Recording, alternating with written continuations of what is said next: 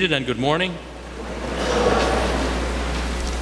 What we have in today's gospel account that Deacon Bud just read is the story of a nightmare. But unlike a common nightmare that is only a bad dream that ends when the one dreaming wakes up, this nightmare is real and it will never end for its subject. The parable of the rich man and Lazarus is an extraordinary passage of Scripture because in it, Jesus describes a unique conversation between a person in heaven and a person in hell. And I'm using the terms heaven and hell loosely here, and it warrants an explanation. The scriptures and ancient Jewish belief in general make reference to an underworld, a netherworld where all who died went. And this netherworld contained two separate sections, two very different places. One reserved for the souls of the just, and the other for the souls of the unjust. The place where the rich man ended up is called Hades, which is the Greek term for hell. But the place where Lazarus was is referred to as Abraham's bosom. Abraham's bosom was not heaven, but it was the biblical designation for the place in this netherworld where the spirits of the just of Israel, the Old Testament saints led by Father Abraham, went after death, waiting for Jesus' atonement on the cross to open heaven to them. So while Lazarus was not actually in heaven in the presence of God, he was in a place of comfort and hope and fellowship. The first point that Jesus was making for his immediate audience, which was the Pharisees, was that there was a rich man who was eternally lost and a poor man who was eternally saved. Now, this concept alone would have turned the Pharisees' theology on its ear because they presumed and taught that earthly riches were a direct sign of God's favor, and that poverty was a direct sign of God's disfavor.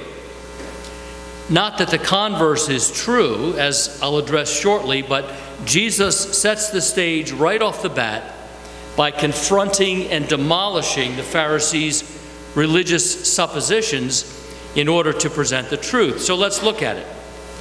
Verse 19 of Luke 16 implies that the rich man was not only rich, but that he was totally self indulgent. He feasted sumptuously every day, we read. Now, there's nothing in this account to indicate that the rich man was evil. Presumably, his only sin that we can discern from the parable is one that is implied namely, that he ignored the plight of the poor, afflicted beggar named Lazarus who was right under his nose, laid at his gate, Jesus says. Notice the contrast.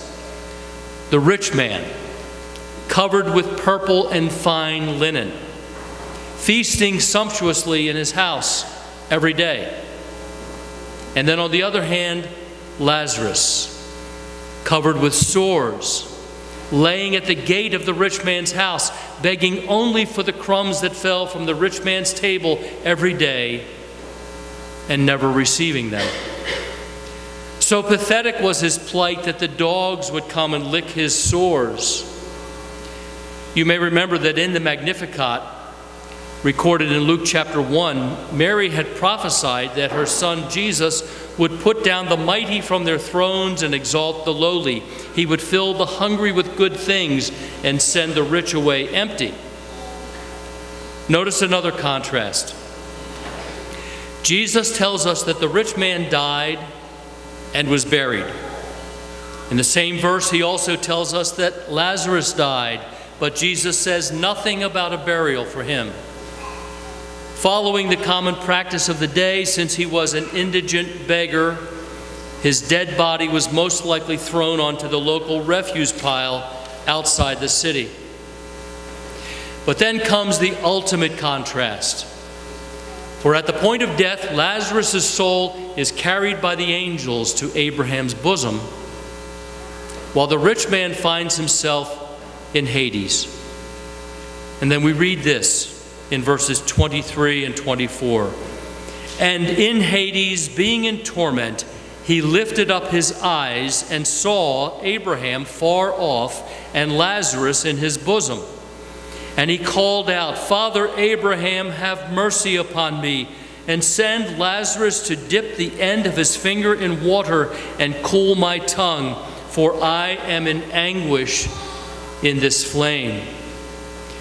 The first thing we notice about this is that while the bosom of Abraham was far off, apparently it was not so far removed from Hades that the rich man couldn't see and identify both Abraham and Lazarus.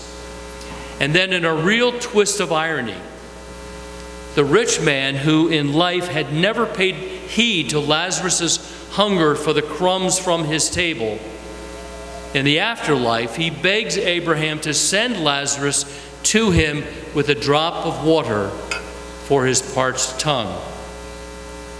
Now, here's an indication that this man has not yet come to a full understanding of why he is even there. He calls on Abraham as father. In Luke 3, chapter, uh, chapter 3, verse 8, we read John the Baptist's stinging condemnation of the religious pride and presumption that he saw in many of the Jews of his day. He said, Bear fruits that befit repentance, and do not begin to say to yourselves, We have Abraham as our father. For I tell you, God is able from these stones to raise up children to Abraham. Further on, in the eighth chapter of John's Gospel, the Jews debated their religious status with Jesus, declaring Abraham as our father. Jesus responds, If you were Abraham's children, you would do the work of Abraham. They were convinced that they were justified and that they had a rightful claim to eternal life simply because they were Abraham's descendants. The rich man in this story implicitly made the same claim. In life, he had trusted in his wealth, presuming it to be the obvious evidence of God's favor. And now in death, he's trusting in his religious pedigree, but both, both have failed him. In the few verses just beyond today's New Testament reading from 1 Timothy chapter 6, we hear a relevant teaching on this very subject from St. Paul. Here's what St. Paul says in 1 Timothy 6, beginning in verse 17. As for the rich in this world, charge them not to be haughty, nor to set their hopes on uncertain riches, but on God, who richly furnishes us with everything to enjoy.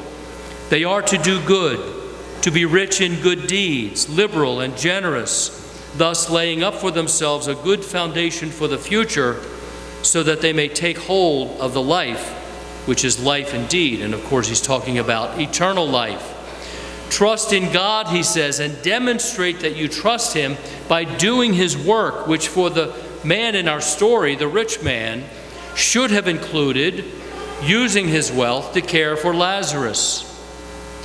The message for us is that the only thing we can trust in to merit eternal life for us is our relationship with God, certainly not earthly riches, and just as certainly not a so called religious pedigree. If that pedigree becomes a substitute for living in relationship with Jesus. So Abraham reveals to the man how it was that he had lavished good things on himself and thus had, in effect, made a decision in life to let those things be his reward. But Lazarus had no such good things in life, and he is now being comforted and rewarded. Now, let's be clear about something here. Jesus is not teaching that wealth in itself is a vice, any more than he is teaching that poverty is in itself a virtue. He is teaching, as in last Sunday's parable of the unjust steward, a kingdom principle the principle of the proper stewardship, again, of wealth and possessions, which includes a mandate to care for the poor. Abraham goes on to tell the rich man that what he is requesting, that, I, that, that Lazarus come and bring a drop of water for his parched lips, what he is requesting is actually impossible because there is a great gulf, a chasm, separating Hades from the bosom of Abraham. Again, ironically, a chasm had also existed in life between the rich man and Lazarus, a chasm created by the rich man's self centeredness and his neglect, and by the social norms that said that the rich did not associate with the poor. The rich man had the power to bridge that chasm if he had so chosen. But having failed to do so, the chasm that he had created in life became a chasm that could not be bridged in the afterlife. All of our chasm bridging needs to be done in this life because after death, it's too late. That includes our own crossing from sin to righteousness, from darkness to light, and from death to life. There are a number of, re of responses that the parable of the rich man and Lazarus should evoke in us. A commitment, for example, to proper stewardship of our resources, a commitment to help the poor, a commitment to revere and live by the Word of God, a continual sense of humble gratitude to God for the gift of redemption. All of these are crucial lessons to be gleaned from this parable today. But the one that I personally have found most convicting, and the one that I want us to take away from this homily today, is the need for us who profess the name of Jesus Christ to develop a deeper sense of urgency about our own salvation and about rescuing those who are headed for hell without Christ. Implicit in that conviction are several realities.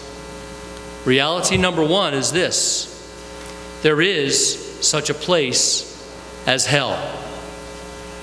Jesus himself tells us so over and over again. So don't let anyone tell you uh, otherwise, even if that person is a priest or a bishop. Don't anyone tell you otherwise. There is such a place as hell. Secondly, those who die in a state of separation from God go there for eternity. And third, God calls and equips those who believe to bring His truth to bear by word and example to the lives of unbelievers in order to bring them into fellowship with God. So think about this then. Hell, in one respect, is nothing more than the extreme eternal state of those who choose to live life out of fellowship with God and contrary to His Word, and who then die in that state.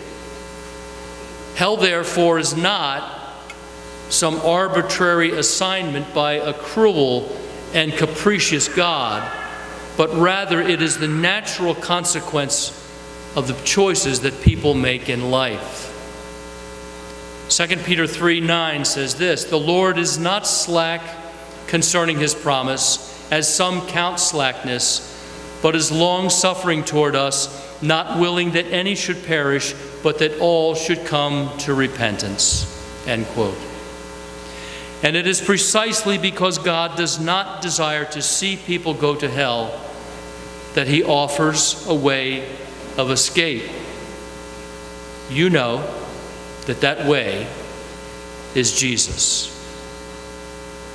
So let's take this message today and let's let it motivate us and inspire us to an ever greater sense of urgency about the times and about the world in which we live. An urgency about first finding our own way to heaven and also an urgency about helping all we know to find it as well. In the name of the Father, and of the Son, and of the Holy Spirit. Amen.